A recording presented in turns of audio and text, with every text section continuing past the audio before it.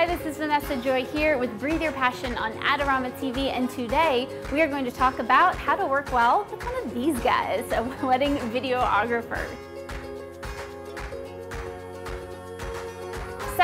We're actually here in Lake Tahoe. We're shooting a wedding tomorrow. I'm the photographer, and this is Robbie. Hey. Hey. Robbie here is a videographer. He's actually from the Seattle area. I'm from New Jersey, as you may know, and we've met here in Lake Tahoe to shoot a gorgeous, gorgeous wedding that we're really excited about. But as the age-old problem goes, videographers fight with photographers, and we're not going to talk too much about the photographer gripes because, hey, we probably know all those already. So Let's make this positive. Tell us some of the biggest things that photographers could do to make your life easier as a videographer. Big thing is, is no matter if you if you don't know the videographer or if you've never met the photographer, if you are a video person out there watching this, you got to play play like a team. You know, we're all there to make gorgeous videos and mm -hmm. gorgeous photos, and that's really what it comes down to. Um, you know, help each other get the shot that they need, hop out, let the video guy do the thing, and vice versa. Let the photographers yeah. get, you know, the how, shots they need. How often do you see impatience come into play? Because timing is an issue. Timing is just something that is not our friend, usually. No, so never. it's really easy for us to get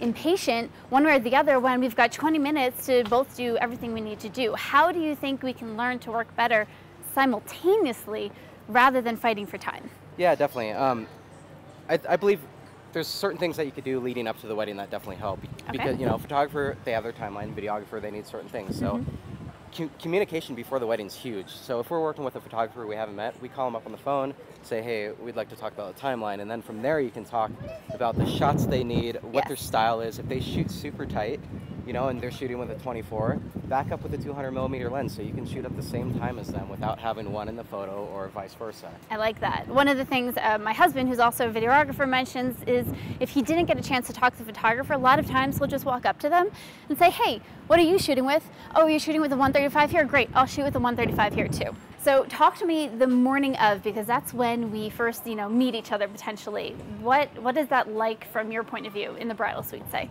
Yeah, definitely. So what we kind of talked about was um, mainly how people shoot. Bridal suite is always a tiny room, very small. It's hard to work in. It's cramped. Everyone is in their own corner. Um, my suggestion for that is, if you can't shoot at the same time, let the photographer get what they need, mm -hmm. and mm-hmm. then you can even reenact the dress being zipped up or buttoned up. Um, but that's all you really can do in that small of an environment. So. Right. How about the reception? The reception tends to be that kind of free for all where, you know, you're always getting in each other's shots and people get mad. What are some yeah. ways? Maybe talk to me about the 180 axis. Yeah, so uh, first dance is huge, you know. Yes. Um, so with me, with the video, even my wife gets mad at me when she's shooting photos. I like to take this Ronin. Robbie also around. works with his spouse, so. Yeah. Hi. Uh, but uh, during the first dance, everyone needs to get their shots, and that's some of the most important photos and video mm -hmm. clips. So what I generally do is I will do one 360, hop out of the way, and I'm, I'm then I grab my monopod, and I'm in the background. So after you do that 360, one of the things I know my husband does is he likes to hide in the crowds, and I think that helps photographers and videographers not be in each other's shot but then we also have to be aware that we might be standing in someone else's shot that's in the crowd because they're not right there. Do you get that a lot where a photographer all of a sudden you just see their back in their shot? Yeah, definitely, all the time. Back or light stands or anything like that. Um, sometimes I'll hide, but if I know the photographer's shooting in the crowd, if mom and dad are there watching, I won't do that. I'll hide behind a pole, I'll mm -hmm. hide behind the photographer's light stand or the DJ because I know they're not going to shoot into those objects. Oh, that's good. I like that. Perfect. If you could ask for one thing from photographers things that we could do during the day to just make your life easier, what would it be? Communication.